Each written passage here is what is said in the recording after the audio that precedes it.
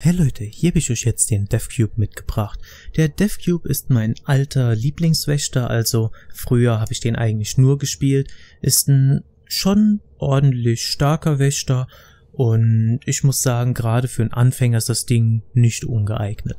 Die Sache ist nur, Diriga ist ein direktes Upgrade vom DevCube, aber naja.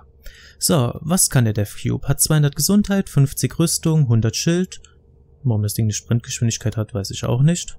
Haben das die anderen auch? Tatsächlich.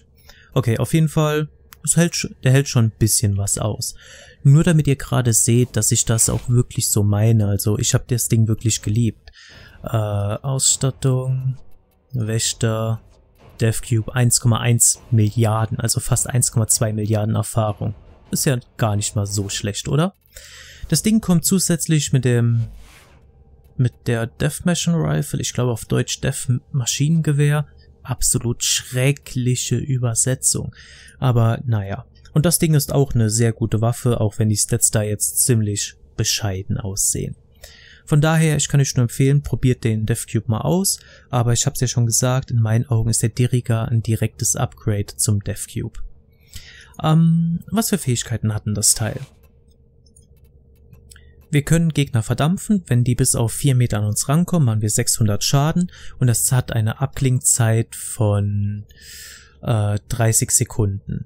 Der Schaden ist Strahlungsschaden und ich sag's mal so, stellt euch eine Cranier-Mission vor. Da kommt doch andauernd diese Cranier-Roller, die uns anspringen, um uns rumscharwenzeln, die einem einfach nur tierisch auf die Nerven gehen.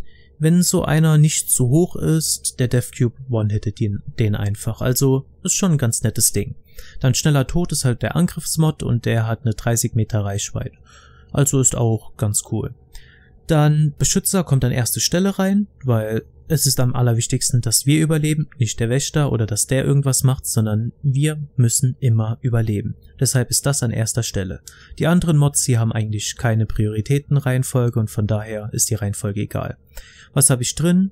Rüstung, Schild, Leben, Schildlader, Vakuum, damit wir Motze auf 11,5 Meter ansaugen können, tierischer Instinkt für 30 Meter Beuteradar und 18 Meter Feindradar, absolut geiler Mod, und dann anheizen. Anheizen skaliert nur, wenn wir auch Hitzeschaden auf unserer Waffe drauf haben, entweder pur oder kombiniert, und mit unserer Waffe meine ich die Wächterwaffe.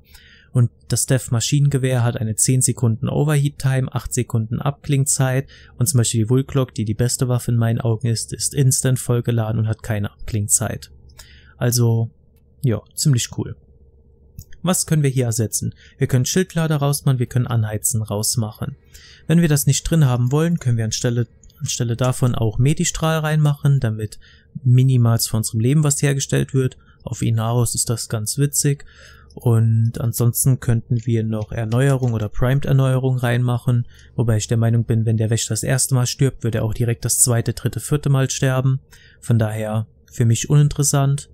Auch mit den 11 Sekunden Unverwundbarkeit. Ihr müsst euch das so vorstellen. Der stirbt, wird revived und nach den 11 Sekunden ist er im späteren, im höheren Level direkt wieder one-hit. Also im Endeffekt lebt der Wächter dann nur 33 Sekunden länger. Äh, oder Schutzort können wir auch reinmachen. Wobei das auch im etwas höheren Bereich, das Schild ist One-Hit weg. Gerade noch zu Schildlader, das kann uns Überschilde geben, Schildregeneration ist erhöht, also ich finde das Ding eigentlich ziemlich cool. Also ich habe ziemlich oft dadurch die Überschilde drauf, weil ich sehr, sehr selten überhaupt mal Schaden bekomme.